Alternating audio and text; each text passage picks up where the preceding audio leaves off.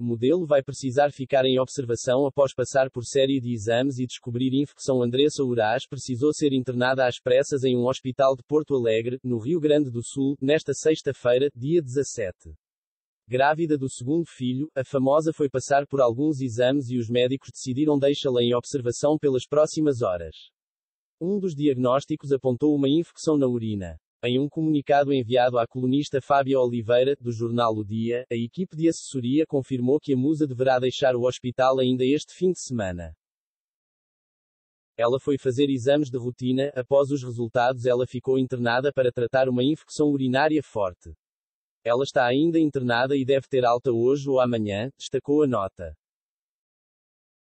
Andressa Uraz espera por menino mãe do jovem Arthur, de 16 anos, a modelo e eterna vice-miss Bumbum espera por outro menino do atual relacionamento com Tiago Lopes, com quem se casou em dezembro do ano passado.